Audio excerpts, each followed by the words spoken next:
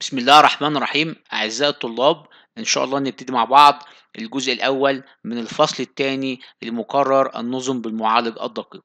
الفصل ده يا جماعة بيتكلم عن موضوع اسمه microprocessor architecture الهيكل والتركيب العام لمين؟ للمعالج. طيب نشوف مع بعض الجزء دوت هيتكلم عن نبذة عن وظيفة ال microprocessor وعلاقة دوت بهيكل المعالج. نشوف مع بعض. بنقول microprocessor architecture الهيكل العام. قبل ما نبدأ نتكلم برضو بالتفاصيل عن الهيكل العام لازم نعرف ال microprocessor ده بيشتغل إزاي.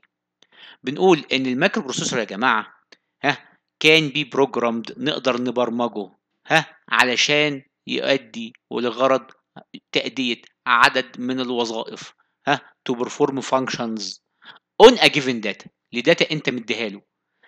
إزاي بيقول لك by writing specific instructions into its memory. آه خطيرة الجملة دي يا جماعة نقراها سوا تاني.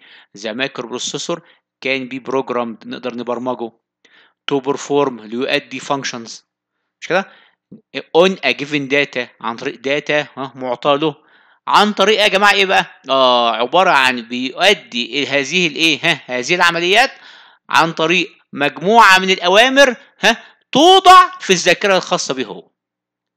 يعني هو عايز يفهمك من النقطة دي يا جماعة إن ال data بتيجي له بتيجي لمين؟ ها لل microprocessor بيعمل عليها عملية معالجة وبينفذ عليها الأمر والأمر ده زي ممكن يكون إيه؟ add sub and or لكن خلي بالك الأمر ده بيبقى مكتوب وموجود عنده فين؟ في الذاكرة.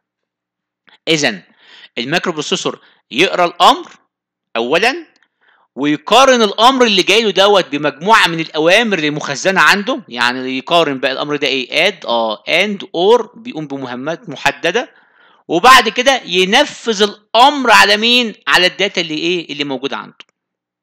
آه يبقى نقرأ الكلمتين دول مع بعض. لكن ال microprocessor reads one instruction at time بيقرأ أمر واحد بس في الايه في لحظة واحدة. matches it بيقارنها with its instruction set بمجموعة الأوامر اللي موجودة عنده عشان يفهم الأمر ده إيه بالظبط. هو متبرمج عارف إن ال and هي كذا ال or كذا.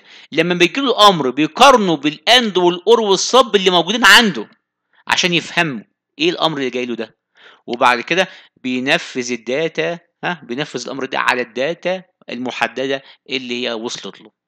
طب والناتج؟ بيقول لك الناتج ممكن يتخزن مرة تانية في ال memory أو يعرض على ال output device اذا the result is either stored back into memory or displayed on the output a device. طيب ال architecture العام الهيكل العام بيقول إن إحنا عندنا عدد من ال buses موجودين.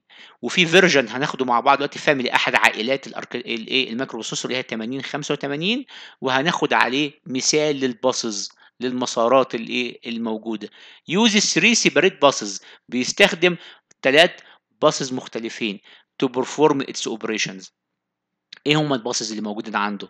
الأدرس باس الداتا باس والكنترول باس الأدرس باس من ك... من من العنوان بتاعه معناه إن هو يحمل بإيه؟ عناوين. طيب ال data bus ها يحمل إيه؟ يحمل بيانات. طب وال control bus يحمل إيه؟ يحمل إشارات تحكم. يحمل إيه؟ إشارات تحكم. طيب إن شاء الله هنكمل كلامنا عن ال buses ديت المحاضرة الجاية إن شاء الله. السلام عليكم ورحمة الله وبركاته.